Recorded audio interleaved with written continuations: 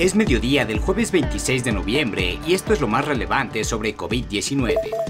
En conferencia matutina, Andrés Manuel López Obrador consideró como un exceso y un error que México fuera colocado como el peor lugar para vivir durante la pandemia en el ranking de 53 países publicado por Bloomberg News. Al destacar el crecimiento del Producto Interno Bruto de México en el tercer trimestre y la recuperación de empleos tras la emergencia sanitaria, el mandatario insistió que no se puede decir que México va mal.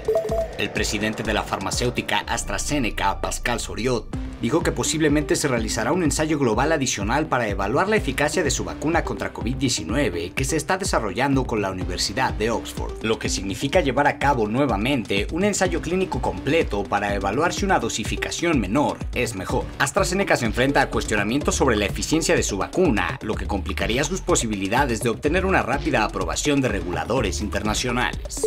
Millones de estadounidenses viajaron por cielo y tierra antes del Día de Acción de Gracias, ignorando los llamados de las autoridades sanitarias para quedarse en casa y limitar las reuniones por el día festivo. Del viernes al miércoles, entre 900.000 y un millón de personas por día pasaron por los puntos de control de aeropuertos en Estados Unidos, un descenso de alrededor de 60% respecto a la misma época del año pasado. Aún así, se trató de las mayores aglutinaciones desde la crisis de COVID-19 que se apoderó de Estados Unidos en marzo.